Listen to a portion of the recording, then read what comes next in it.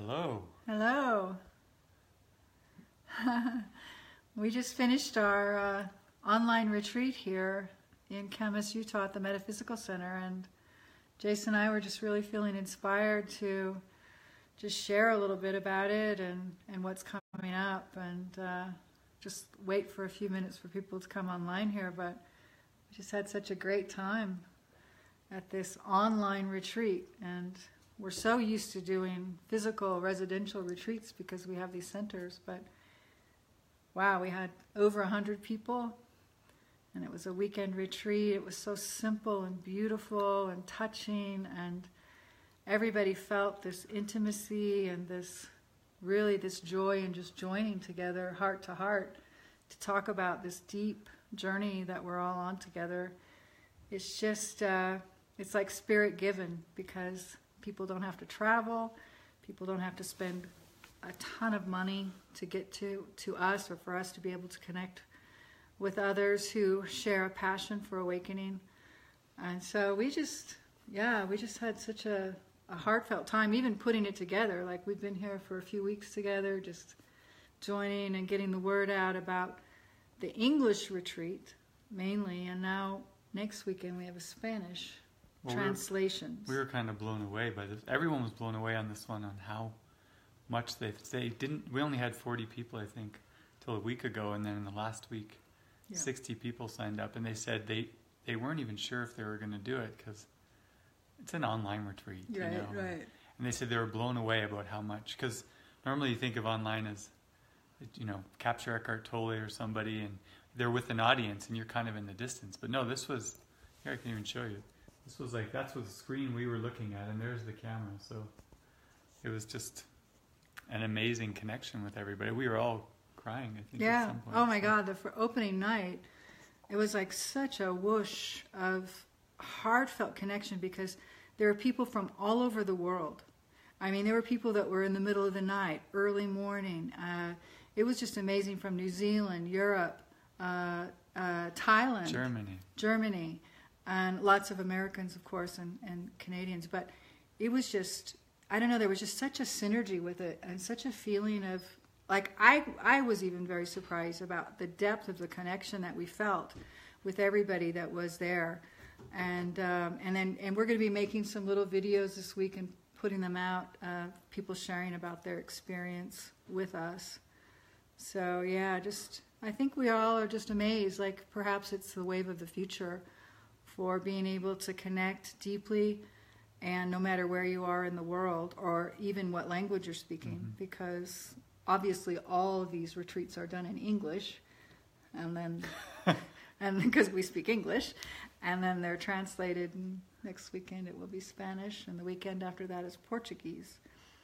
But we really want to open it up to english speakers because just because we have spanish translations yeah yeah. So. And we don't have that many Spanish people signed up or Portuguese. And, and it was so amazing for these English. We invited all 100 people mm. to come back. And we were like, whoa, maybe this is the plan. It's just yeah, really focused. Really on, to open it up. Yeah.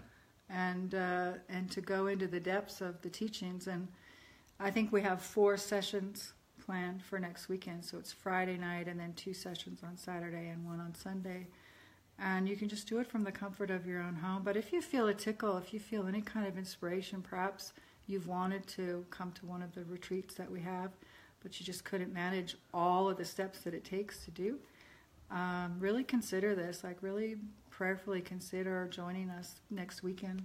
Well, you were saying a few things about how this affected you. The weekend. weekend. yeah. Oh. What did it do for you? Um, I think for me, I there was such deep sessions, and it felt like to me like a a deeper commitment to being a miracle worker. That's what it felt to me like. It was just framed in a way that I don't know something that just it lit up my mind and my heart, like that that is our function here, and that there's a clarity of mind now for the years of mind training, but it's like this recommitment to being used fully because I've kind of always had this draw to the cave and to uh, to being alone on the path, which hasn't been the case for nine years. But So I feel like a recommitment to, not even a recommitment, an expansion into a deeper level of being used by the Spirit and to extend and to really connect with my brothers and sisters. So that's You're ready to use whatever it is, retreats. whatever. Yeah. What's that Vipassana kind of things at the monastery? Well, we're going to be coding. Doing, Some people might come and do coding. we're going to do silent, uh, scheduled silent retreats at the monastery. But right now, we're talking about our online retreats. It's so funny because we can't talk about anything else except for what's happening right now. And what's happening right now is we just finished this amazing retreat, online retreat. It blew us all away. We were all so touched by it, and um, and it was a surprise. It was a surprise that everybody felt this synergy with being online retreat. So we're just opening it up and sharing our hearts with you about how it felt to be in this retreat for ourselves. And then we're going to share some videos later of people's expressions after. Yeah, me listening to Michael and Suzanne was just as great as Mm. doing a session with David in the room. It was fun for me because I don't think I've done that in a while. Just Yeah. have him walk in and stay with the Right. strength, and then have him join in so fully was just amazing, really. To, What did you What did you get out of this whole weekend? well, Was there one anything in particular?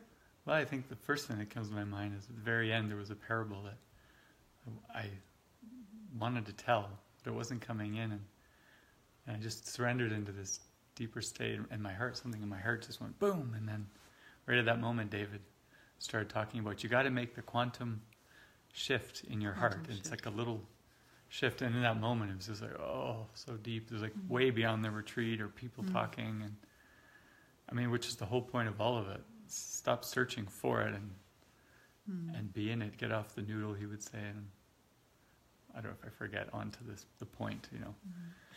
So Mm. that was a miracle for me, and also just again always deepening into that the experience is beyond what's really happening. You know, no control of which we couldn't. You know, cats are walking in and out, and people are doing cameras on top of cameras, and Yeah, walking around with cameras, and we just, but for some reason, it just kind of all worked. And here we are in our living room, right? It's like, it's so simple. And everybody else was in their living room, or their bedroom, or their bathroom, even. You know? this is the setup. You can Yeah.